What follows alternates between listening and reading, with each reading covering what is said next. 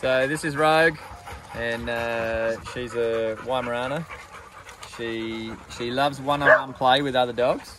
She's a real social dog. Loves the interaction with the with um, any particular dog, anyone that's that's willing to play the game with her. She's a fast runner, constantly on the move, and um, she also loves to roll in horse poo, which uh, we seem to have a bit of her a bit of it here for her to indulge in.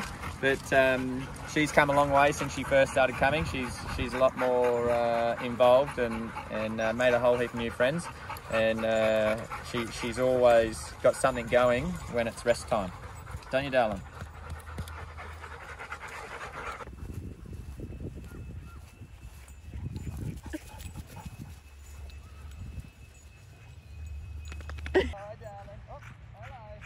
Hello, darling.